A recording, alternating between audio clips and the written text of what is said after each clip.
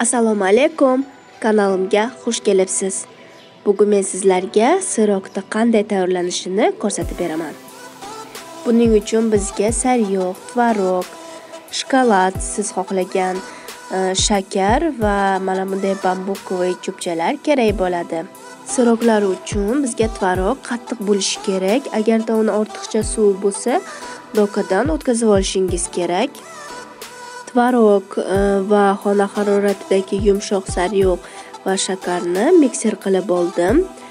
Saryog'ni mikrovolnovkada yumshatib olsa ham bo'ladi va bu massani blenderda aralashtirsa ham bo'ladi.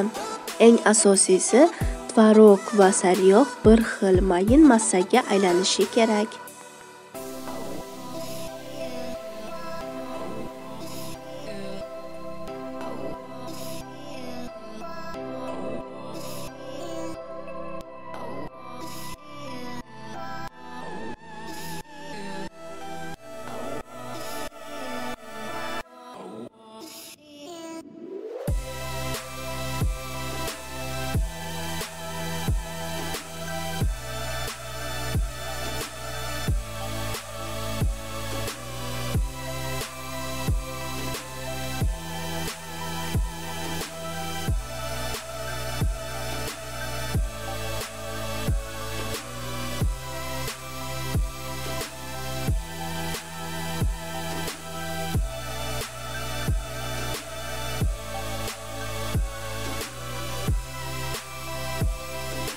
Mana shunday bir xil massa bo'lguncha aralashtirganimizdan so'ng unga yanayam mazali bo'lishi uchun malinali murabbodan qo'shdim.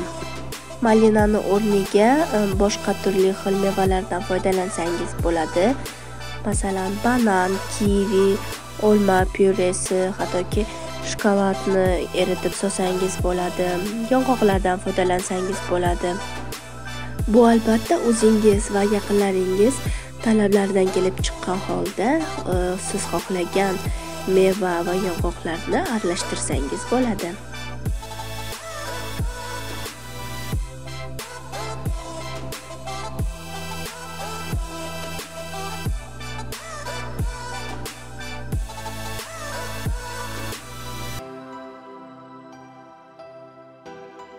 Men mana bunday silikonoviy qolipchadan foydalandim.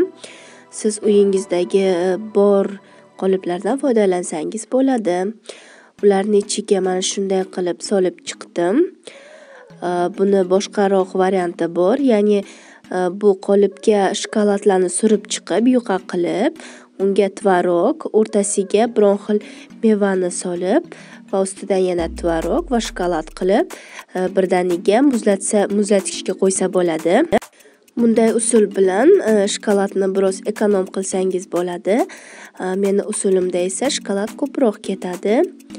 Lekin juda ham mazali shokoladi ko'proq bo'ladi.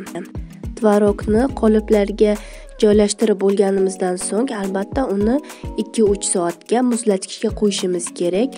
Ular butunlay muzlashi kerak.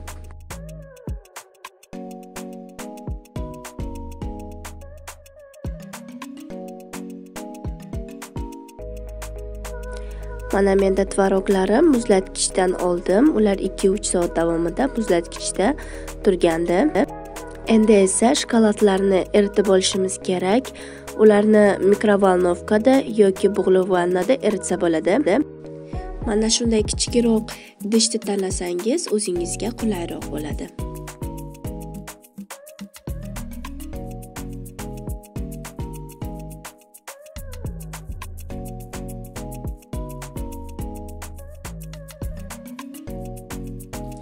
Tvoroglarni qolipdan ajratib bambukovый cho'pchagi yaxshilab mustahkam qilib suqib olishimiz kerak.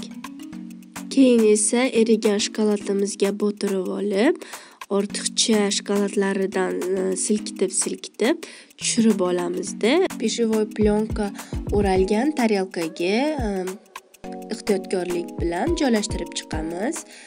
Agarda e, shokoladingiz suyuqroq bo'lsa buning hojati ham yo'q chunki Э, tvorog muzlagan bo'lganligi uchun shokolad tezda qotib qoladi.